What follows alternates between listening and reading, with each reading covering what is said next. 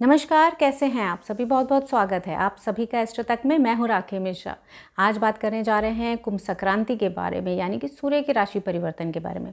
सूर्य देव एक बार फिर राशि परिवर्तन करने जा रहे हैं। मकर राशि से निकल करके सूर्य देव तेरह फरवरी को दो बज के इकतालीस मिनट पर राशि परिवर्तन करेंगे, कुंभ राशि में प्रवेश करेंगे। कुंभ राशि सूर्य के पुत्र की राशि में यानी कि शनि देव की राशि है तो सूर्य और जो शनि देव हैं, उनमें आपस में पिता और पुत्र का रिश्ता है, लेकिन दोनों आपस में शत्रुता का भाव भी रखते हैं। सूर्य को जहाँ पे आत्मा का कारक ग्रह माना गया है, पिता के लिए कारक ग्रह माना गया है, आरोग्य के लिए भी सूर्य को ही देखा जाता है, वहीं सरकारी नौकरी और सत्ता पक्ष के लिए भी सूर्य को ही देखा जाता है। वहीं शनि देव जो हैं, अनुशासन के लिए जाने जाते हैं कर्मफल दाता कहे जाते हैं शनि देव यूँ तो सूर्य और शनि की जो युति है बहुत ही शुभ नहीं मानी जाती, लेकिन इस समय अगर आप अपनी ईगो छोड़ के, अहंकार छोड़ करके, अनुशासन के साथ आगे बढ़ेंगे तो ये जो समय है, आप इस समय पे सफल ज़रूर होंगे। तो आइए जानेंगे कि ये जो युति है, सूर्य और शनि की जो युति है, जहाँ सूर्य देव अपने पुत्र की राशि में, यानी कि कुंभ राशि में गोचर करेंगे तो सभी राशियों के लिए इस पर क्या प्रभाव पड़ेगा? आज सबसे पहले हम बात करेंगे मेष राशि से लेकर के कन्या राशि के जातकों पर। इस सूर्य के राशि परिवर्तन का कुंभ संक्रांति का क्या प्रभाव होने जा रहा है? सबसे पहले बात करते हैं मेष राशि के बारे में।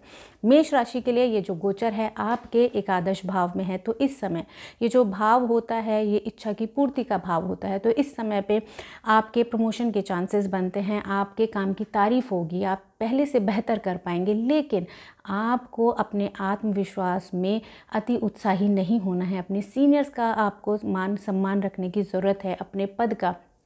और आपके सीनियर्स के पद का आपको सम्मान रखने की ज़रूरत है सीनियर्स का सम्मान करने की ज़रूरत है। अगर अहंकार में रह करके, अति उत्साही होकर के आप अपने सीनियर से बातचीत करेंगे या उनका मखौल उड़ाएँगे तो ये समय आपको के लिए और भी कष्टदायी हो सकता है। तो इस बात का आपको ध्यान ज़रूर रखना है।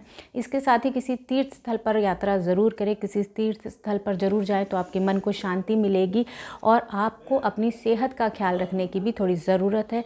इस समय अगर एक उपाय की बात करें तो आपको तांबे के लोटे से सूर्यदेव को अर्घ ज़रूर देना चाहिए। इसके साथ ही बात करेंगे वृषभ राशि के बारे में। वृषभ राशि के लिए ये जो गोचर है, आपके टेंथ हाउस में है, यानी कि आपके कर्म के भाव में है। तो इस समय आपके मान सम्मान में बढ़ोतरी होगी, आपकी पोजीशन पहले से बेटर होगी, फाइनेंशियल कंडीशन आपकी पहले से बेटर होगी, आपको रिस्पॉन्सिबिलिटी मिलेंगी और आपको लीडरशिप का मौका भी मिलेगा। लेकिन इसके साथ ही जो सूर्य और शनि की युति है, इस समय पर आपके लिए तो आपको इस समय अहंकार से बचना है।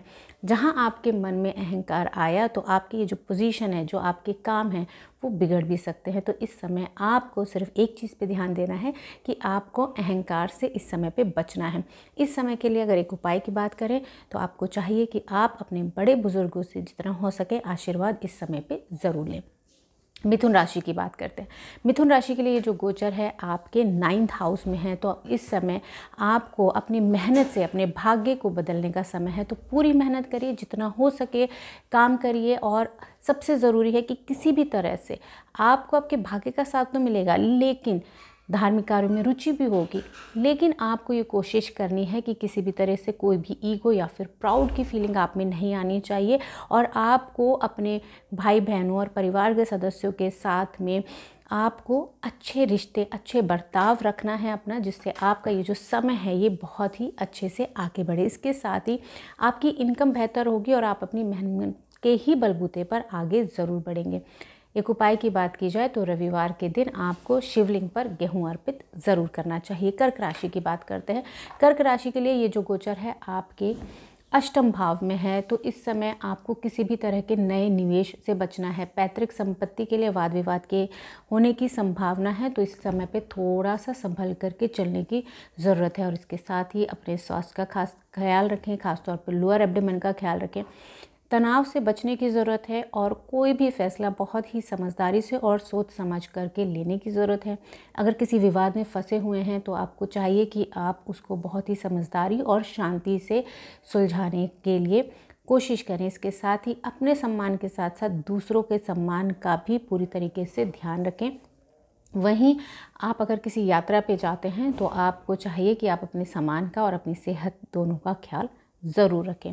अगर एक उपाय की बात की जाए आपके लिए तो आपको सूर्याष्टक का पाठ इस समय पे ज़रूर करना चाहिए। बात करेंगे सिंह राशि के बारे में। सिंह राशि के लिए ये जो गोचर है, आपके सप्तम हाउस पे है, यानी कि हाउस ऑफ़ पार्टनरशिप है। इस समय पे आपको अपने पार्टनर के साथ बहुत ज़्यादा खुश मिजाज होकर के बात करने की ज़रूरत है। नहीं तो तनाव की संभावनाएँ बनती हैं। अपने रिलेशनशिप पे ध्यान दें। थोड़ा सा बहुत ज़्यादा किसी भी तरह के डिस्कशन में या वाद विवाद में पढ़ने की अपने पार्टनर के साथ इस समय ज़रूरत नहीं है। किसी भी तरह की अगर कानूनी लड़ाई या कानूनी वाद विवाद में फंसने की ज़रूरत भी नहीं है। जितना हो सके आप इस समय किसी भी तरह के लड़ाई, झगड़े वाद विवाद और अननेसेसरी के डिस्कशन से आपको बचने की ज़रूरत है। बिज़नेस पार्टनर के साथ आप जो भी डील करते हैं, अपने उसको पूरा अपना पेपर वर्क सारी चीज़ें पूरी करें।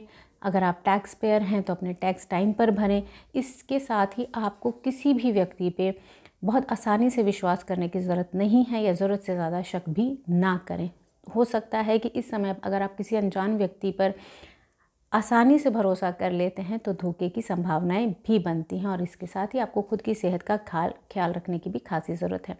अगर एक उपाय की बात की जाए तो आप चाहिए कि इस समय आप आदित्य हृदय स्त्रोत्र का पाठ ज़रूर से करें।